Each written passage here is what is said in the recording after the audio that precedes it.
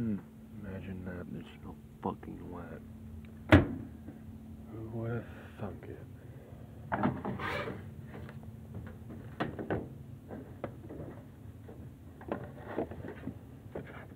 Well, wet isn't exactly the word I'd use. More like damn.